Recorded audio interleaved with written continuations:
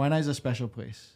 Can you speak to that? Yeah. Are you from Waianae? No, So how did you end up there and like what makes it special? it's it's like tied in with your show. We actually bought a home out there when I oh, came yeah. back from college. My cousin's a real estate agent, and my husband was stationed in Waianae, and he's like, "Hey, we should check out this place called Sea Country." And I was like, you know, like Oh, yeah, yeah. I don't I don't know nothing about the West Side, so we're coming past Kapolei, we passed Nanakuli. I was like, "Yo, turn this around." I was like, "Where are we going?" Yeah. and It's so not Koliku. yeah. so we go into uh, Sea Country, and of course, we lived in Utah for almost 10 years, and Mm-hmm. it kind of had some similarities, you know, central air, garage, community center. We walked into a house that was on a short sale, and as soon as we walked in, we both got the feeling. I was like, we're supposed to live here. He was like, I feel it too.